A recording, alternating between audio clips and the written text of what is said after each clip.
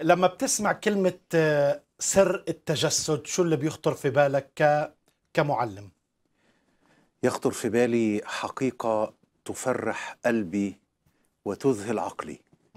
إن الله ظهر في الجسد. إن الغير مرئي أصبح مرئي والغير ملموس أصبح ملموس والمطلق الغير محدود أصبح متاح لنا إن إحنا نتعامل معاه كبشر باعتباره صار بشرا. الكلمة صار جسدا. لكن من ناحية تانية آه، دكتور سامح وأنت أكيد عارف أنه كتير من الناس بتجهل هذا الموضوع ولا تستسيغ الكلام عن هذا الحديث. إما لجهل ما نعم. أو لربما يمكن بغير شيء في ذهنه لو حاول يفكر. نعم لأنه في ناس كتير فاهمين التجسد غلط. فاهمين مثلا أحد الأخطاء.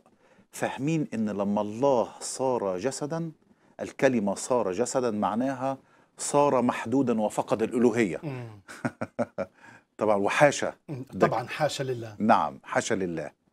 تمام؟ فنتيجة للفهم الخطأ لهذا الأمر وعدم دراسته جيدا من كلمة الله لنعرف ماذا يقول الكتاب. تمام؟ فنتيجة لكده. أحد برضو الأسباب الأخرى أن الشيطان يهاجم بقسوة. هذه الفكرة تمام؟ لأنه مش حابب أن الناس تعرف أن الله أحبنا إلى درجة أنه صار إنسانا.